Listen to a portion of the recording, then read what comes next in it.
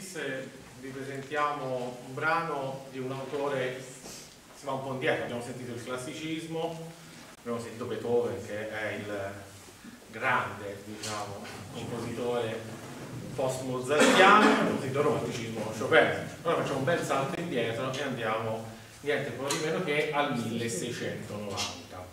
Francesco Maria Veracini. Lo portiamo perché noi veniamo dalla Toscana e sono un violinista. Francesco Maria Veracini era un grande violinista del periodo barocco che eh, ha fondato la scuola violinistica toscana a Firenze.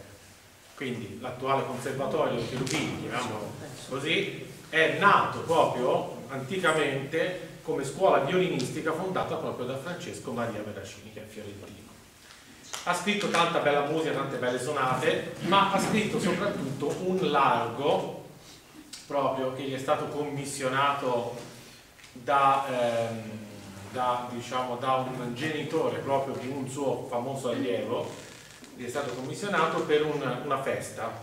E questo largo praticamente è un pezzo unico, ma è molto bello e non sembra neanche un brano barocco, sembra addirittura musica da film, però l'ha composto proprio lui. Ecco, ascoltiamolo, è proprio per violino e basso, cioè basso continuo accompagnamento del pianoforte ovviamente. Qui il protagonista assoluto il violino, ha una melodia veramente molto bella. Quindi Francesco Mediavecchino